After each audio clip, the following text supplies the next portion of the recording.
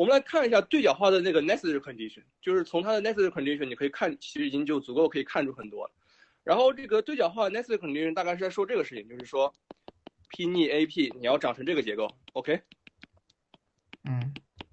呃，当然 priori 就是你你现在已经知道这些 lambda 一到 lambda 是什么东西，我们先就是说先在带着这种知道来做来看，来看这个 A 需要满足什么条件，以及这个 P 最后会长成什么样子。我可以两边同时做一个左乘一个 P，我两边对等式两边同时左乘一个 P，然后接着呢，我把 P 写成这样，我把它写成 V 一 V 二，